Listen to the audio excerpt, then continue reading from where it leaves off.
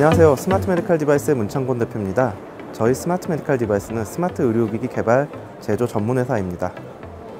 저희 X-PAD는 기존 스마트 의료기기 기술을 접목하여 스마트폰과 연동된 좀 더 재밌고 편하게 운동하실 수 있는 운동 장비입니다.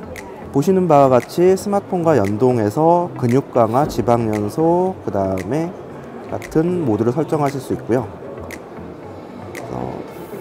어, 각 부위별로 복부, 팔, 다리에 제품을 부착하여 바로 운동을 시작하실 수 있습니다. 저희 제품은 보시는 바와 같이 복부의 근육 결대로 제품이 설계되어 있습니다.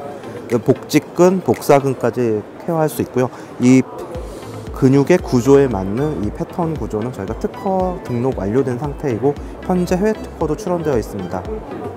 영상에서 보시는 바와 같이 저희 제품의 메인 모델은 현재 양치승 관장이라고 되게 유명한 트레이너가 관장을 해주고 계시고요. 현재 100명이 넘는 많은 트레이너 분들이 저희 제품을 사용해주고 계시고 실제로 트레이닝에 관원들과 같이 사용해주고 계십니다. 빠르면 5월부터 저희가 라이브 홈쇼핑에 출품될 예정이고요. 현재 동남아를 비롯해서 미국, 유럽, 일본 현재 수출 계약 초기 단계입니다. 그래서 빠르면 올해부터 샘플 수출, 그 다음에 본 수출들이 이루어질 예정입니다.